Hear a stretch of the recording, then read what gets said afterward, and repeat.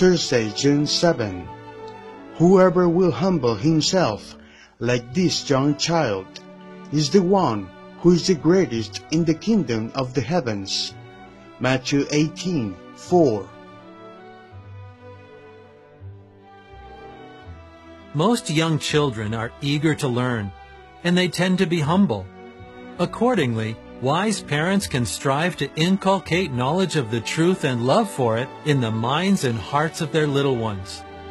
Of course, to succeed, the parents must first impress the truth on their own hearts, making the truth their way of life.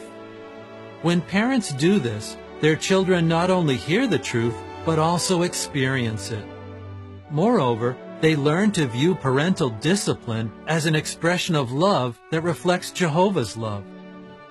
When we likewise humbly submit to Jehovah and make such submission our way of life, he will view us as very precious, just as he did the prophet Daniel.